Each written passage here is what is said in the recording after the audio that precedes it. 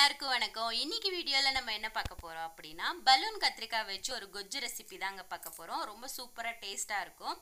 அதுக்கு முன்னாடி இதுதான் நீங்கள் ஃபர்ஸ்ட் டைம் நம்ம சேனலை விசிட் பண்ணுறீங்க அப்படின்னா வீடியோவை முழுசாக பாருங்கள் முழுசாக பார்த்துட்டு உங்களுக்கு பிடிச்சிருந்தா லைக் பண்ணுங்கள் ஷேர் பண்ணுங்கள் கமெண்ட் பண்ணுங்கள் இன்னும் ரொம்ப ரொம்ப பிடிச்சிருக்கு அப்படின்னா நம்ம சேனலை சப்ஸ்கிரைப் பண்ணி பெல் ஐக்கானை கிளிக் பண்ணி சப்போர்ட் பண்ணுங்கள் ஃபஸ்ட்டு நம்ம இந்த கத்திரிக்காயில் நல்லா எல்லா பக்கமும் எண்ணெய் படுற மாதிரி நல்ல எண்ணெயை தடவி எடுத்துக்கலாம். அடுத்ததாக இந்த மாதிரி ஒரு போர்க்கோ இல்லை ஒரு கத்தியோ வச்சு அதை நல்லா ப்ரெஸ் பண்ணி சப்போர்ட்டுக்காக நம்ம இந்த கத்திரிக்காவை நல்லா சுட வச்சுக்கலாம். எல்லா பக்கமும் திருப்பி திருப்பி கொடுங்க. நல்ல தோல் வந்து சுட்டு வரணும். பாருங்கள் இந்த அளவுக்கு தோல் மாறிச்சுன்னா போதும். நான் அதுக்கப்புறம் ஒரு மீடியம் சைஸ் தக்காளியும் இதே மாதிரி தோல் நல்லா கருப்பாகிற வரைக்கும் சுட்டு எடுத்துக்கலாம். இப்போ எல்லாத்தையும் சுட்டாச்சு. நல்லா ஆற விட்டுட்டு இந்த தோலை நம்ம தனியாக பிரித்து எடுத்துக்கலாம். ரொம்ப அழுத்த வேண்டாம். பொறுமையாக எடுத்தால் தனியாக வந்துடும் அது. பாருங்கள் இது எல்லாத்தையும் எடுத்தாச்சு. நம்ம ரொம்ப அழுத்தணும்னா அந்த கத்திரிக்காயில் அந்த தீஞ்ச தோலெல்லாம் ஒட்டிக்கும். எடுத்தாச்சு இப்போ இதை கொஞ்சமாக ஸ்மாஷ் பண்ணி விட்டுட்டு இதை இன்னும் நம்ம நல்லா ஸ்மாஷ் பண்ணி விடணும். நம்ம தாளிக்கும் போது ஸ்மாஷ் பண்ணிக்கலாம். இது கூட அரை டேபிள் ஸ்பூன் அவ்வளோ சீரகத்தூள் அரை டேபிள் ஸ்பூன் அவ்வளோ கரம் மசாலா. இது ரெண்டும் போட்டுட்டு இது நம்ம தனியாக சைடில் வச்சுக்கலாம். அடுத்ததாக ஸ்டவ் ஆன் பண்ணி பேனை வச்சுட்டு பேனில் தேவையான அளவு எண்ணெயை சேர்த்துக்கலாம்.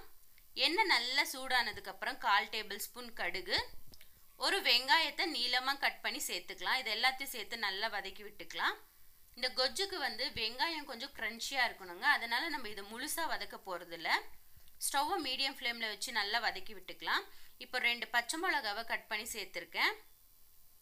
கொஞ்சமாக கருவேப்பிலை வாசனைக்காக. எல்லாத்தையும் சேர்த்து நல்லா வதக்கி விட்டுக்கலாம். இதெல்லாம் நல்லா வதங்கி வந்ததுக்கப்புறம் நம்ம சுட்டு வச்சுருக்க தக்காளியை கட் பண்ணி வச்சுருக்கேன் அதையும் சேர்த்து நல்லா வதக்கி விட்டுக்கலாம்.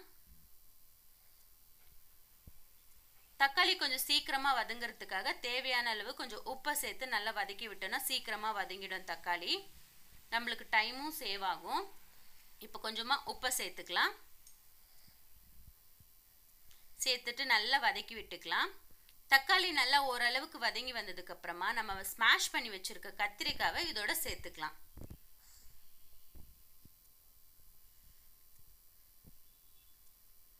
நல்லா சுற்றி இது கூட மசாலாலாம் இறங்கட்டுங்க. அது வரைக்கும் நல்லா கை விடாமல் ஸ்மாஷ் ஸ்மாஷ் பண்ணி விட்டுக்கலாம். கொஞ்சம் டைம் எடுக்கும். இதுக்கு இன்னும் ஒரு பெஸ்ட் ஐடியா என்னன்னா முடிஞ்சவளை ஸ்மாஷ் பண்ணி விட்டுட்டு நம்ம ஒரு மூடியை போட்டு ஒரு அஞ்சு நிமிஷத்துக்கு ஒரு வாட்டி ஓப்பன் பண்ணி ஸ்மாஷ் பண்ணனா இன்னும் ஈஸியாக முடிஞ்சிடும். இப்போ நான் அதை தான் பண்ண போகிறேன் ஃபர்ஸ்ட் இது எல்லாத்தையும் ஓரளவு இது எல்லாத்தையும் ஓரளவுக்கு நம்ம ஸ்மாஷ் பண்ணிவிட்டு கடைசியாக கொஞ்சமாக உப்பை சேர்த்துட்டு உப்பை ஒரு வாட்டி செக் பண்ணிவிட்டு எனக்கு தேவைப்பட்டுச்சு அதனால் நான் கொஞ்சமாக உப்பை சேர்த்துக்கிட்டேன். இப்போ இது மூடியை போட்டு நம்ம நல்லா வேக வச்சுக்கலாம். மூடியை போட்டாச்சு. அது மாதிரி நான் நல்லா நடுவில் ஸ்மாஷ் பண்ணி விட்டு பாருங்கள் இந்த அளவுக்கு இந்த பதத்துக்கு கொண்டு வந்திருக்கேன் கொஜ்ஜை.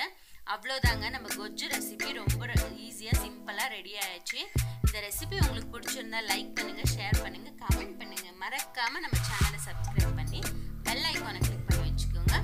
ஸோ நாளைக்கு இன்னொரு கத்திரிக்காய் ரெசிபியோடு உங்களை மீட்